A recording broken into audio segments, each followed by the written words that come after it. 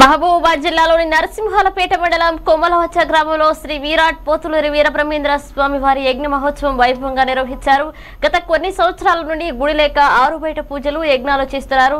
మాకు ప్రభుత్వం ద్వారా కొంత సహాయం కావాలని కోరారు.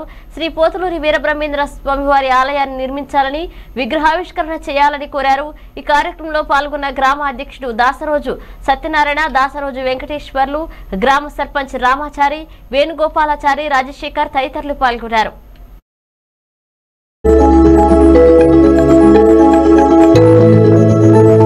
Preview.